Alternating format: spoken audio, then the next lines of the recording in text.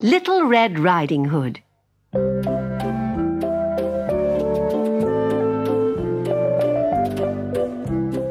Your grandmamma is very ill, said Red Riding Hood's mother one day. Take this basket of food to her. There's soup and cake and fruit and biscuits. I'm sure it'll make her feel much better. So the little girl put on her red velvet cloak with the red velvet hood which her grandmamma had made her for Christmas. She wore it everywhere. That was why everyone called her Little Red Riding Hood. As she set off into the forest, her mother called after her, Make sure you come home before dark.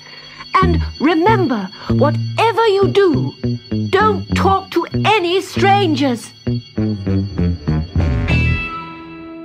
Red Riding Hood had never been to her grandmother's cottage deep in the forest, and she skipped along, swinging her basket of presents.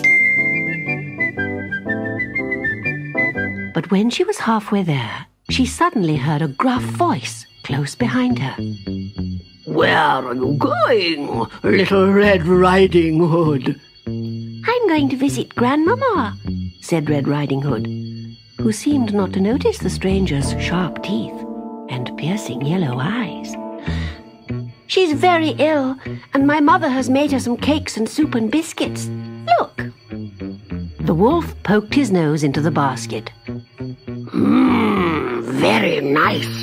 Though I don't eat that sort of thing myself. Don't you think she would like some flowers as well? He pointed out some pretty clumps of primroses growing under the trees. I'm sure if I was ill, I'd feel much better if somebody brought me flowers. What a lovely idea, said Red Riding Hood. But then she remembered what her mother had said about not talking to strangers. But she can't mean that I shouldn't talk to someone as kind as this. She set down her basket and began gathering primroses. It took a long time, and when she turned back to the path, her basket brimming with flowers, there was no sign of the kind stranger. By that time, the wolf had run on ahead and reached Grandmamma's cottage. He gave a loud knock on the door and called out in a small, piping voice, It's me, Granny! Red Riding Hood!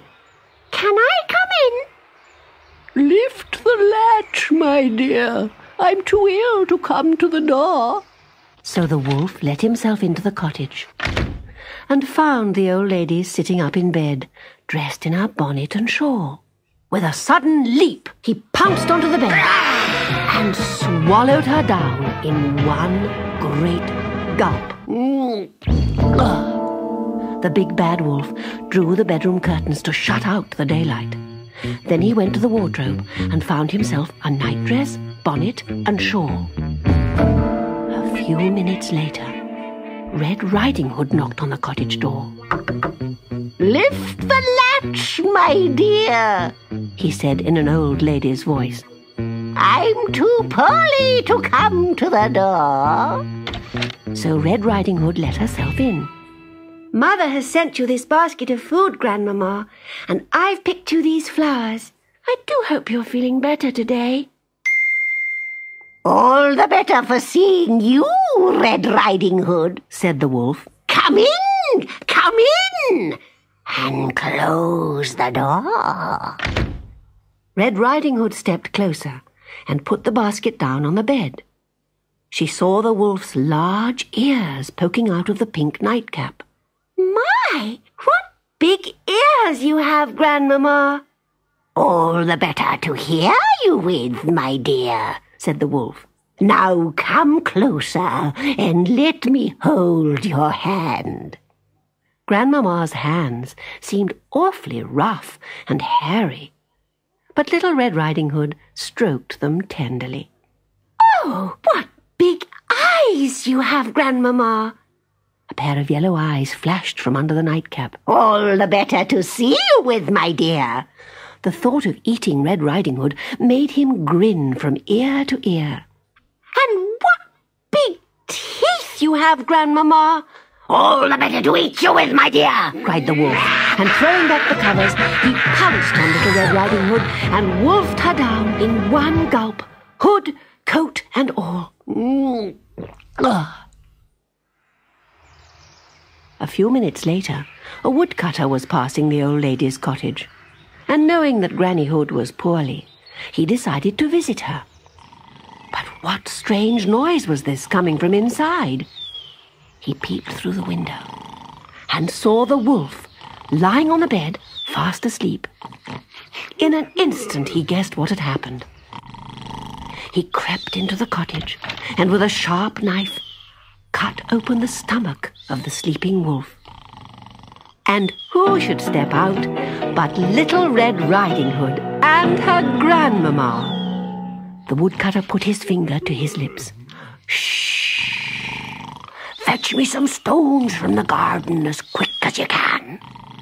The woodcutter tucked the stones into the stomach of the sleeping wolf. Then he sewed up the cut he had made with his knife and crept into the next room with Grandmamma and Little Red Riding Hood. The wolf woke with a start. What a nightmare I was having! I shouldn't have eaten so much! and feeling very thirsty, he rushed down to the river for a drink. With the weight of rocks inside him, he overbalanced and plummeted to the bottom of the river. And that was the end of the big bad wolf. Little Red Riding Hood gave her grandmamma the basket of food, and the old lady ate it and felt quite well again. Saying goodbye to her granny and the woodcutter, Red Riding Hood walked safely home through the forest and never spoke to strangers ever again.